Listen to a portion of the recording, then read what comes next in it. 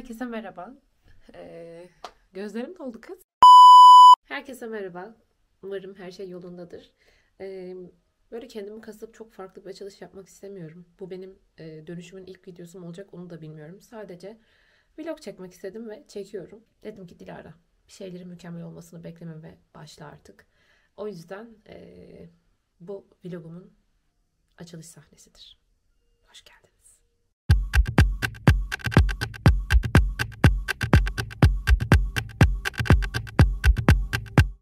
Arkadaşlar bugün ben çok büyük bir çılgınlık yaptım ve dört bebeği eve çağırdım.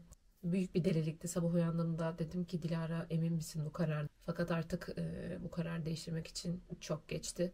O yüzden e, şimdi e, Sade'yi uyuttum.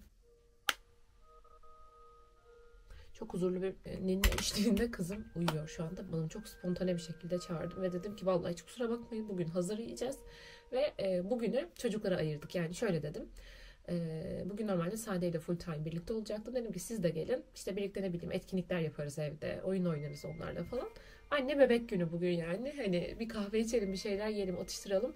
Günü çok olmayacak bence. Öyle bir beklentim yok ama yine de böyle bize tatlı bir sofra kurayım diyorum. İsterseniz birlikte inelim. Birlikte hazırlayalım. Biraz uğraşacağım ama neyse artık. Yapacak bir şey. Allah hazır aldım bugün. Kimse kusura bakmasın. Yani tabule aldım. Pancar e, yani pancarlı derken renk versin diye bence sadece pancarda e, pişirilmiş kino. Gördüğünüz arkadaş dünyanın en güzel şeyi falan olabilir. Yani reklam diyelim ne olur ne olmaz da yani tamamen gönülden tavsiyedir. Ben bunu bilerek eve almıyorum ki kafayı yerim yani çünkü bir bir tane kutuyu bitiririm ben çok rahat. Ama şimdi misafir gelince bahane ederek e, hemen aldım. Bu içinde böyle krep kıtırı bulunan efsane bir fındık kreması.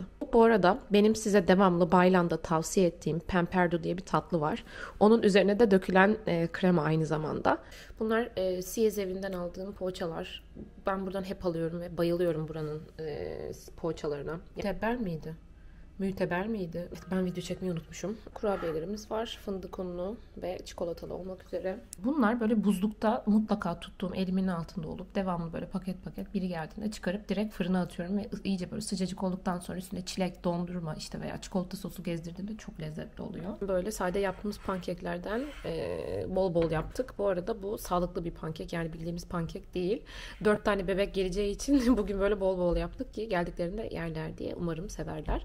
Ee, ben bunun içine ıı, Emir'in babaannesinin bize gönderdiği çok doğal e, minci dedikleri yani aslında lor peynirinden bol bol koyduğumuz şekerine elma suyundan aldığı badem unu yumurta gerçekten çok sağlıklı ve sade buna bayılıyor. Yani da böyle bir frambuazlı cheesecake var. Pakette olan bir kabak tatlısı var. Bunu kayınvalidem yapmıştı. Dün göndermişti. Evet ilk konuğumuz Leyla arıyor. Alo. Dur kapıda mısın? Geldim. Sade bir rekora imza atıyor ve hala uyuyor. Evet. ikinci konuğumuz Leyla Kopuz. Diya'ya. Kurban olurum verene. Defne. Nereye geldin aşkım? Öpeyim. Kızın şaşırmıyorsun bu ne diye. YouTube'a deneyelim. YouTube'a de beni bugün Bir dakika. Konuğumuz Leyla Kopuz. Bugünden beklentilerinizi öğrenebilir miyim? Oy bugünden beklerdim kızımın birazcık. Heh, gelmiş. Saat çıkma uyuyor mu hala? Yemin ederim bak çok bir kere daha böyle oldu. Sen ne oldu bize dün yok o yok bu yok falan deyip şov Yok kanki. Ne şovu be? Hazır hepsi. Hazır mı hazır çok şey duruyor. Ya sus. Bugünden beklentilerini öğreneyim. Ya bugünden beklerdim sakin, huzurlu. Hayır yani Evet. gerçekçi beklentiler. Valla gerçekçi. Sakin huzurlu olmamız mümkün mü? Dört tane Sağda bebek. uyumuş ama kaç saattir o da Evet o beni değil. şok etti ya. Aşırı beğendim. Kafayı yedirtmedik. Girecek evet. misin Mars'ın yanına? Biraz ev pislenecek ama. Pislenecek tabii ki. Umursamam. Kurabiye evet. Aşırı geç kalan. Bir dakika dur. Ben değil Mars. Ha? Mars'la röportaj yapmalısın. Vallahi bir kahvaltı yapmadım. Aşırı acıktım. Koca karılar ya. Kahve? Aynen bunlar oyalanırken biz kahve. Gel bakalım evet hamur bitti. Hamur bitti Şimdi başka bir şey yapıyorum. Ay açılmadı. Las bak çok güzel oldu saçım. Bak. Açılmıyor. Eee Dilara nasıl geçti canım? Hiç pişman değilim. Hepimiz yatağa yattığında bir daha düşün. Küçük bir gün değerlendirmesi alalım. Bir şey söyleyeceğim. Benim beklediğimden çok daha iyi geçti. Gerçekten. Günün son raporu kustu. Kustu mu? Ana e, öyle ama bir aşkım. Hamurları hapur hapur götürürsen Defneciğim. Orada var peçete bak.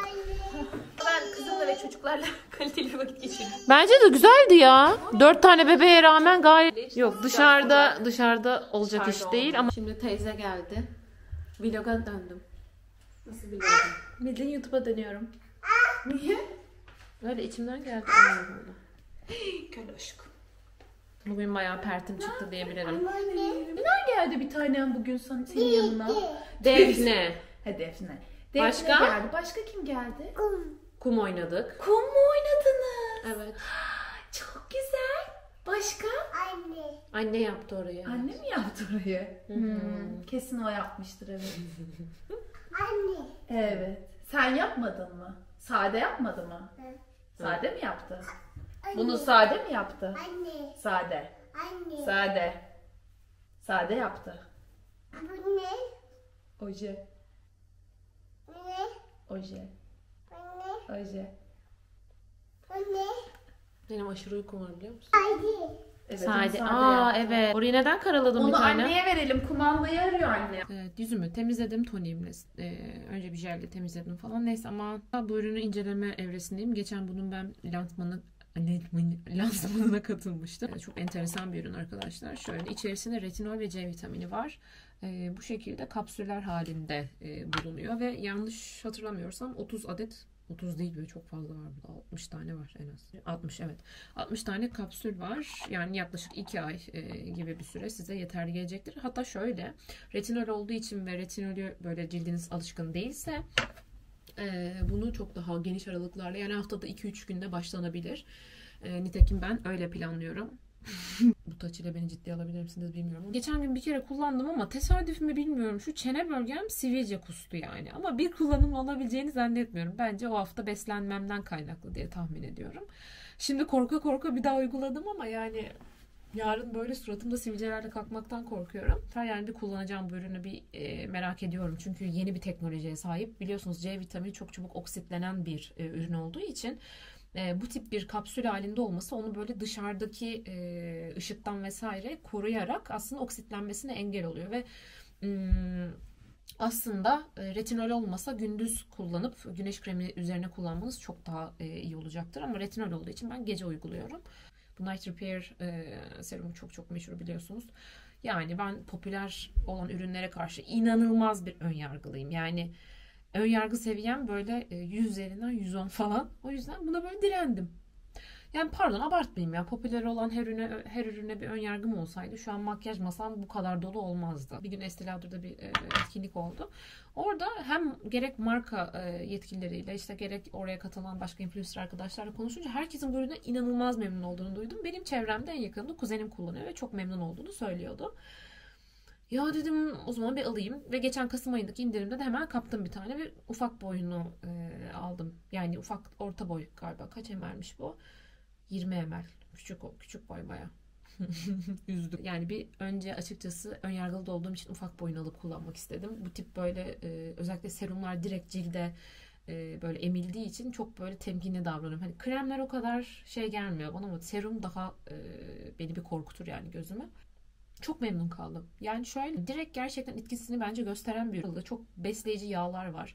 Hani yağlar deyince gözünüz korkmasın. Bende bir sivilceye sebep olmadı. Hani geçen şurası çok kötü kustu dedim çene bölgem ama hani genel olarak ben bunu bayağı uzun süredir kullanıyorum ve çok memnun kaldım. İndirime girene kadar da dedim bu Darfi'nin retinol e, serumuna dönüşümlü kullanayım. Bu da biraz daha dayanır dedim. Ama ee, bayağı az kaldı. Şimdi kremi uygulayacağım. Bu Embryolis'in doğru mu okudum bilmiyorum. Şu kremini kullanıyorum. De bilmiyorum görebiliyor musunuz? Non-komodojenik diye bir ibare var. Bu ibare aslında bizim gibi, benim gibi eğer sivilce yatkın bir cildiniz varsa mutlaka dikkat etmemiz gereken bir ibare. Bu sayede cildinizde komedona sebep olmayacak bir içerik olduğunu emin emin komedon diye emen dedim. Emin oluyorsunuz. Bu yüzden de gönül rahatlığıyla kullanıyorum. Hani böyle cildimi gözlemleyeyim falan şeyine girmiyorum. Ha tabii ki bu yazdığı için cildinize sivilce olmayacak diye bir şey var mı? Yok ama bu benim için riski çok çok çok yüksek oranda elimine etmek anlamına geliyor. O yüzden gönül rahatlığıyla kullanıyorum. Bunun dışında masamda çok fazla nemlendirici var. Çünkü bir yerde bir yanlış yapıyorum cilt bakım rutinimde bence. Çok kuruyor cildim ve bence kuruduğu için de bazen sivilce çıkartabiliyorum. Cildim çok fazla kuruduğu için çok sık nemlendirici kullanıyorum. Bu Origins'in e, bu nemlendiricisine bayılıyorum ve indirime girmesini bekliyorum sizlerle paylaşmak için. Bu benim bugün son kullanımım olacak. Onda bilgili olan arkadaşlar varsa beni bilgilendirsin. Bazen ben birden fazla nemlendirici kullanıyorum aynı rutinde. Yani gece yatarken mesela bir bunu kullanıyorum. Sonra bir daha sürüyorum. Başka bir mesela Embryolis kullanıyorum. Origins'i kullanıyorum. Üst üste ha, şaka değil. Yani Pantol'ü ben e, yıllardır çok severek kullanıyorum ve benim için böyle şey bir ürün yani bu risksiz. E, cildimde böyle risk almak istemediğim dönemlerde direkt kendisine sığınıyorum. Bir ara yani korkunç bir sivilce problemim olduğu evrede ve artık sivilcelerim söndü, lekelerimi gidermede e, buna sığınmıştım. Her gün kullanıyordum. Her gece bunu kullanıyordum ve yaklaşık böyle birkaç ay kullandım ve hiçbir soruna sebep olmadı. Hatta ve hatta cildim bebek gibi oldu. Lekelerim, lekelerim çok güzel bir şekilde açıldı. Lekeler açılmasının sebebi bunun cildi yavaş yavaş yavaş yavaş soymasından kaynaklanıyor. Cilt yenileyici diye geçiyor zaten. Fakat bu ürünü cilt yenileyici olarak kullanmayın. Bu ürünü cildinizde bir hassasiyet oldu, bir işlem yaptırdınız, kızarıklık oldu. Yani cildinizin hassas ve e, cilt bariyerinizin hasar aldığı bir dönemde kullanın. Ama bunun dışında benim gibi sakın nemlendirici niyetine kullanmayın. TikTok'ta da böyle karşıma çıkıyor millet işte kızlar gece bunu sürdüm yattım bebek gibi uyandım. Sakın. Yani e, çünkü bunu yaptığımda işte birkaç ay hiçbir sorun olmadı fakat sonra tekrar ya cildim o kadar inceldi ki bence ne oluyor biliyor musunuz? Cilt inceldiği zaman yine bariyer. Bu sefer yani bir loop'a giriyorsunuz ve cilt bariyeriniz yine inceliyor ve bozuluyor. Korkunç bir komedon problemim oluştu arkadaşlar. Ve o komedonlar da biliyorsunuz ki temizlenmediğinde ki ne kadar temizleyebilirim tekrar bir sivilce problemim oldu. E, ve bunu ben sonradan öğrendim bu ürünün kullanımının nasıl olması gerektiğini. Buna çok dikkat edin. Bunu, ya bu çok çok önemli benim için. Yani çünkü başımdan böyle bir şey geçtiği için bunu böyle defaatle e, söylemeye çalışıyorum. Şimdi nemlendiricimi süreceğim. Bu Embryolis'in nemlendiricisi. Ee, inanılmaz e, su bazlı bir krem. Yani böyle hiç yoğun bir e, formu yukarı yukarı yapmaya, e, nemlendirmeye çalışıyorum. Bu zaten hep yapmamız gereken bir şey belki ama ben hiç buna dikkat etmiyordum. E, ben nemlendiricileri göz çevreme de getiriyorum bu arada.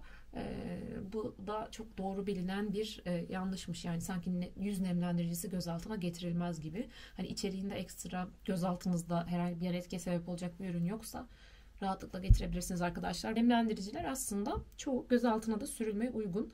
Ee, bunu da bir ara, bir ara araştırmıştım. Bilmiyorum hani e, bu konuda fikriniz nedir? Ee, ama ben gayet nemlendiricilerimi uyguluyorum. Son kullanımını ağlayarak yapıyorum ve arkadaşı yolcu ediyorum. Bitti. Ya bugün mesela böyle bir iki nemlendirici kullanmak istedim. İçimden böyle geldi. Hızlıca şöyle bir lip balm sürdüm. Sonra tipimi mipimi beğenmiyorum. Bu arada nemlendiriciyi gözaltıma getiriyorum ama arkasından tekrar e, bir gözaltı kremi uyguluyorum. İlk videonun şerefine bence bugün artık burada sonlandırmalıyız. Uzun bir aradan sonra sizlerle olmak güzeldi. Bir kere bu platformun neyini çok seviyorum derseniz neden burayı özledim ve neden dönmek istedim biliyor musun? Son zamanlarda Instagram ayağı için konuşuyorum. Kendimi çok samimi olamadığımı ya da bir içerik üretme noktasında beni çok tatmin etmemeye başladığını hissettim. İçerik üretme kısmı bence yaratıcılığı kapsamıyor sadece. Sizlerle iletişime geçmek e, bu işin çok çok büyük bir parçası. Hatta neredeyse %90'ı diyebiliriz. E, bu kısım eksik kaldığında sizde de bir şeyler tatmin olmuyor. Bilmiyorum ben bu eksikliği çok hissediyordum. E, fakat e, YouTube'da da beni korkutan ya da benim çekincelerimi tetikleyen e, bir takım şeyler de vardı.